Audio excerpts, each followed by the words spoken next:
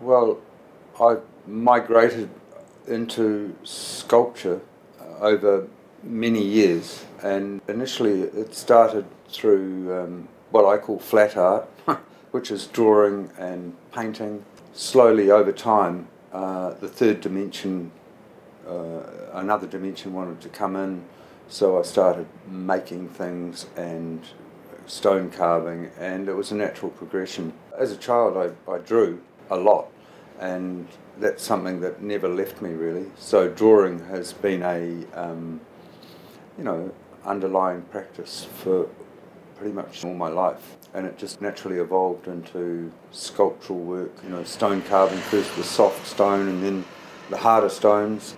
I realised when I, um, you know, wander around my property and into my sheds and things, I have a very long accumulation of detritus and creative practice over a lifetime. So I'm very blessed and I've, um, I've been very fortunate.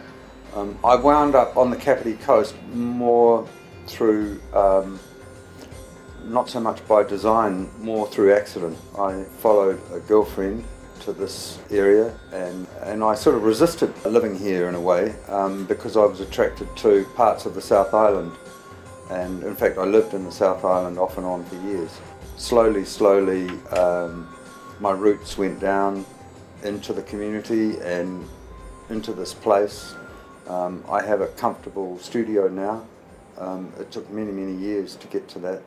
And so I've become quite happy in this physical location. And the ocean is always inspirational, having the horizon to sort of stare out, having some space to um, stare and contemplate the horizon is, is always kind of healing uh, like the way I approach a piece of stone or something. It's um, it's probably a process of evolution. There's, I know people that have designed their lives in a very calibrated fashion.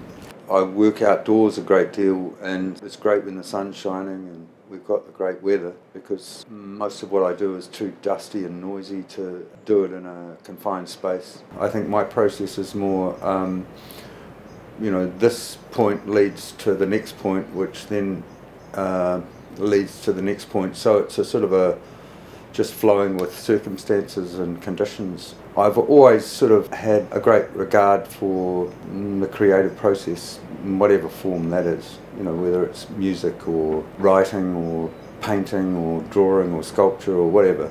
I find it very soul destroying to work in a dull, repetitive way many people have to in order to survive, and I, I'm, i guess you have to sacrifice some aspects uh, in early in your life. I think one thing triggers the other. It's uh, evol- evolution. I'll grab that. It's a journey into the unknown. In that way, it keeps life uh, exciting and you know rich.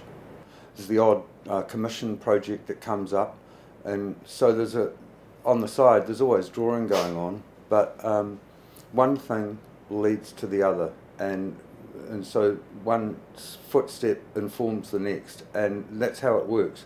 For example, the, the drawings behind me um, are just uh, they're kind of whimsical doodles that um, I've done in between other projects, and I'm been developing that as a as a as a project, it, it, becomes a project in itself. Sometimes I get up in the morning and think, how am I going to make a buck today?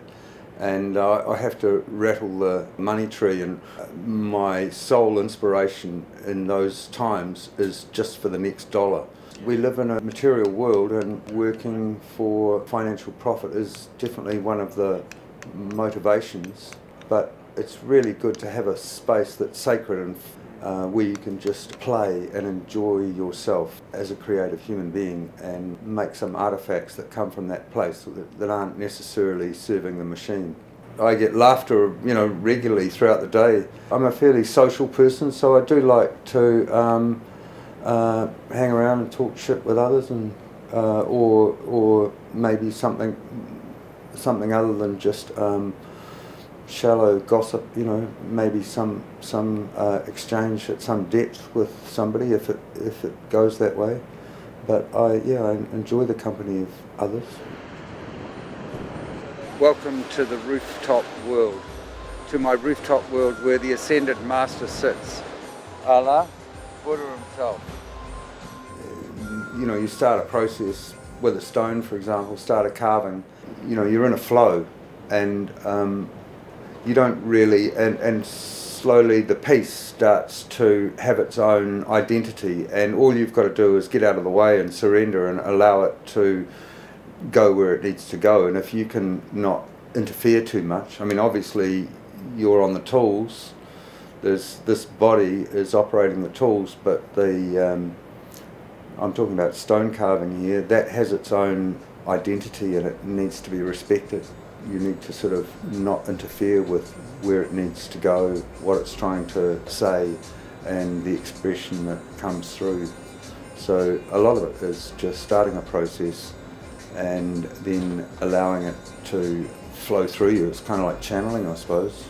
It's, there's a lot of romantic myths around art making, and I think you have to have a real fire in the belly to um, want to do it because um, you know, we live in a consumer culture, and if you don't have the resources to participate, then you know it can be a hard road to hoe. And I, kids should, some some kids absolutely follow your passion to hell with it, even if it means um, um, going without bloody near everything. But for most of the people coming through the tertiary education system, they need to find a foothold in the machine in order to survive. Uh, I probably don't do enough walking and stuff. But you know, because I work with my body, that um, has its own. Um, that helps to keep the thing uh, reasonably good shape.